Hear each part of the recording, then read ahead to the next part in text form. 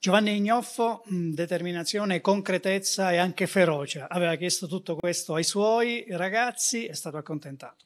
Assolutamente sì, assolutamente sì, perché siamo stati bravi, oltre ad avere quel tipo di concretezza e cinicità sotto porta, anche ad avere quell'attenzione giusta e cercare nel momento della gara dove abbiamo magari abbassato un po' il baricentro e ci sta perché fa parte del gioco, eh, riuscire non, eh, ad essere attenti a non prendere eh, gol oppure farsi riprendere o riaprire la gara è stato determinante perché come poi si è visto il secondo tempo sul 2-0 gli spazi erano talmente tanti che prima o poi eh, poi ci siamo riusciti sul calcio piazzato eh, lo spazio per andare a fare e chiudere la partita l'abbiamo avuto, l'abbiamo sfruttato, è frutto di un calcio d'angolo, però sullo sviluppo del calcio d'angolo c'era stata un'azione abbastanza corale per poter andare a rete. E questo sicuramente deve essere una costante per il futuro perché sappiamo benissimo che questo campionato spesso quando si rompono gli equilibri e non riesce a subire gol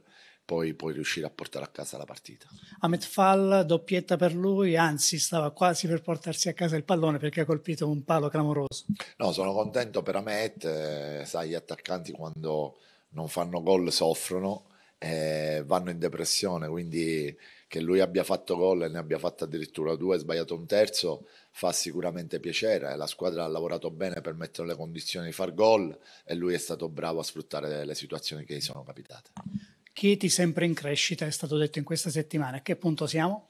Siamo a buon punto, dobbiamo continuare a lavorare per quello perché la crescita fa parte di un percorso che abbiamo avviato ad agosto. Vedo continuamente cose eh, migliori rispetto all'inizio, ovviamente. Crescono i giovani, crescono i grandi, cresce il gruppo, cresce la squadra e questo fa piacere perché significa che siamo sulla strada giusta. L'ultima su Balic, a che punto è invece il suo recupero, la sua condizione? Balic sta cominciando a lavorare, sta facendo i primi lavoretti di avvicinamento a quello che è la riatletizzazione di un calciatore e speriamo di poterlo recuperare prima possibile.